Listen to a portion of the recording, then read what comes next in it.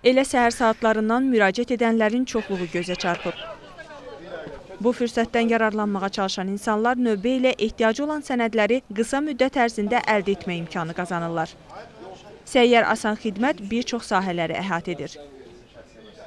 Xidmət növlərindən hansı xidmət göstərdiyimiz növlər Daxili İşlər Nazirliyinin şəxsiyyət vəsiqəsinin alınıb verilməsi, xidmətdir, ümumi vətəndaş pasportlarının verilməsidir, sürücülük vəsiqəsinin dəyişdirilməsidir. Ədliyyə Nazirliyinin notariat xidmətidir, reestr xidmətidir, dövlət reestr xidmətidir, sosial müdafiə fondu və torpaq komitəsinin xidmətidir. Sakinləri ən çox düşündürən amil xarici pasportun verilmə şərtləri, qısa desək müddət və rüsumdur. Bir günə dək, 5 günə dək və 10 günə dək verilir. 18 yaşından yuxarı olan şəxslərə rüsumları 10 günə dək 40 manat nəzərdə tutulur.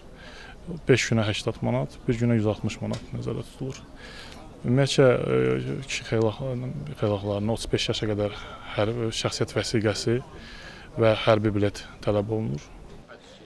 31 iyuldan Şəkini özünə məskən seçən səyyar xidmətin əməkdaşları hələ avqustun 7-sinə qədər Şəki, Qax və Zakatala sakinlərinə xidmət göstərəcəklər. 2 gün ərzində isə 600-dən çox sakinə xidmət göstərilib. Prezidentin sərəncamı ilə 1 aprel tarixindən bölgələri gəzən səyyar asan xidmət 19 məntəqədə olmaqla ümumilikdə 42 minə yaxın insanın sənədlə bağlı müraciətinə baxıb. Prava dəyişməklə əlaqədar olaraq bura müraciət, Hasan xidməti müraciət elədim. Allah çox şükür 20 dəqiqənin içində hazır oldu.